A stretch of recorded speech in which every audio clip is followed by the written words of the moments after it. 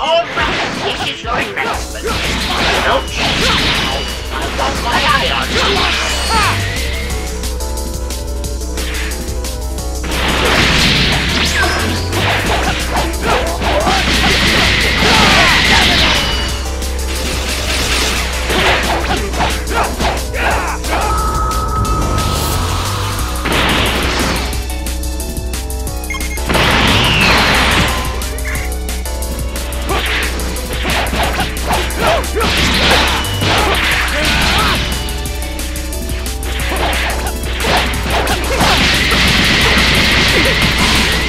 Stay